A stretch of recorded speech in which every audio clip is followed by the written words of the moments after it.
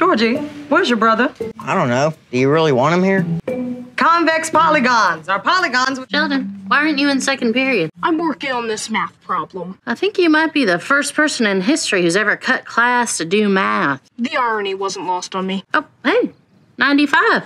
Good job. Really. I'm here every day, and it's like you don't know me at all. Oh, okay. Um, oh, 95. Too bad. There we go. Sheldon, what are you doing here? They wouldn't let me use the phone in the principal's office. Who are you calling? Dr. Sturgis, it's a math emergency. Don't you think you should ask my permission first? It's ringing, yes or no? You know what? I don't care. Hello? Dr. Sturgis, this is Sheldon. You're wrong, and I can prove it. Is that so? It is so. All right, little man, bring it on.